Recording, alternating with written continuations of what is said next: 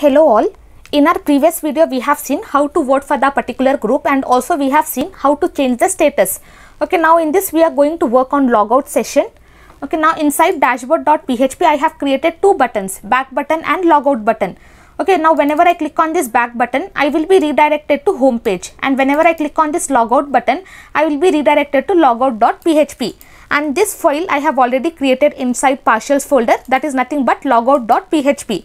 Now here inside this first I am just going to write here PHP syntax. First I am just going to start the session because using session I am just getting all the data. So here I am just going to start the session. Once I start the session I will be getting all the session variables inside that. Once I get all the variables I am just going to destroy that one. Okay once the user clicks I am just going to destroy all the variables whatever data is stored inside the sessions that entire thing will be destroyed okay once i log out then i should be redirected to home page. I'll just write here location and here i'm just going to write that one. Okay let me just close here. And this also let me just close this. Okay here i should be redirected to home page so i'm just writing this one. I'll just save this one. I'll refresh this.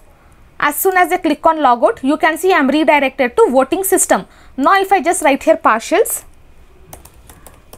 partials dashboard.php you can see i'm redirected to this particular page okay? dashboard.php but here you can see i'm getting this no groups to display. I'm getting all this error because all the session variables are destroyed and no variable is set now. So here i'll be getting this error. So we have to fix this one. Okay so to avoid this one i'll just come to dashboard.php here below where i'm just creating this session i'm just going to check for the condition. If not is set. And here i'll be writing this session variable and inside this I'm just going to access the ID. If the user or if the group ID is not set, let me just write the proper spelling here. If it is not set, then here I'm just going to write the location. I'll just write here header and inside this I'm just going to pass the location and I should be redirected to home page. Okay, I should not go to dashboard.php without login. I should be redirected to home page. I'll just come back. I'll refresh this one. Now here inside this if I just write here partials let me just write here partials dashboard.php you can see i am not redirected to dashboard.php directly i am redirected to voting system okay? That is nothing but home page.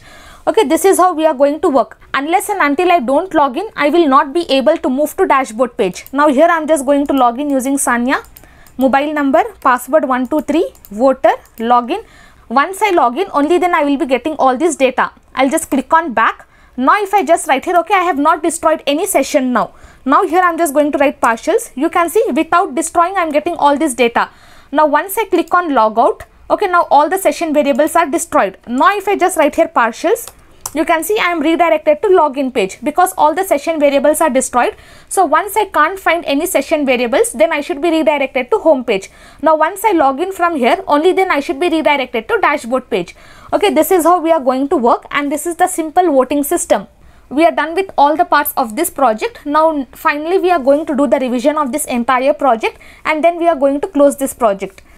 That's all for today's tutorial. Thank you for listening. Have a great day.